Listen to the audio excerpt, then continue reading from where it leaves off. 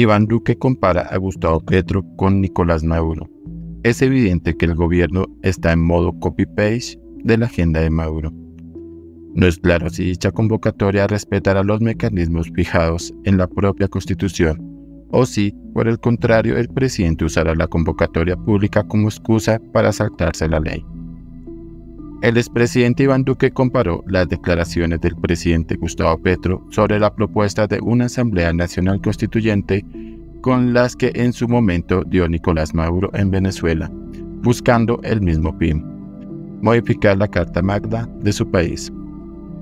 El expresidente Duque señaló al jefe de Estado de estar copiando el modelo del régimen de Maduro en Venezuela y le pidió a las instituciones estar vigilantes del gobierno para evitar una afectación a la democracia.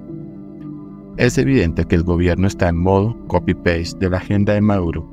En Colombia lo que está buscando el gobierno es una sustituyente, con la intención de reemplazar nuestra constitución y el orden legal con figuras carentes de sustento institucional el Congreso, las Cortes y toda la sociedad debemos defender la democracia de este atropello, aseveró el exmandatario colombiano. Iván Duque acompañó esos comentarios con dos videos.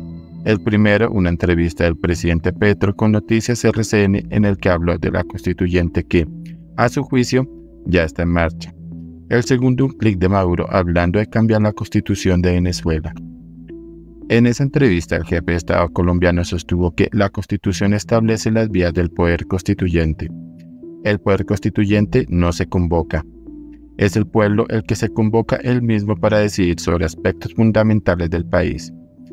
Es el poder constituyente.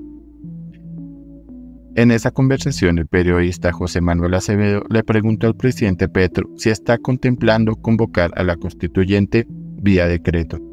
A lo que el presidente Petro respondió que yo pienso que el poder constituyente ya arrancó, o sea que tenemos una población que cada vez más decide tomar decisiones. Cada vez más un pueblo, no que protesta, sino que decide.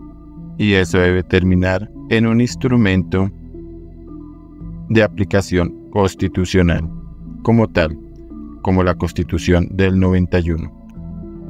Consultado sobre los tiempos que tomaría ese proceso, el mandatario sostuvo que este o puede acelerarse mucho, hay que ver.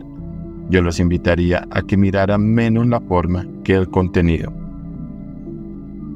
Luego, cuando le preguntaron sobre la importancia de las formas constitucionales, este respondió que sin contenido no hay formas.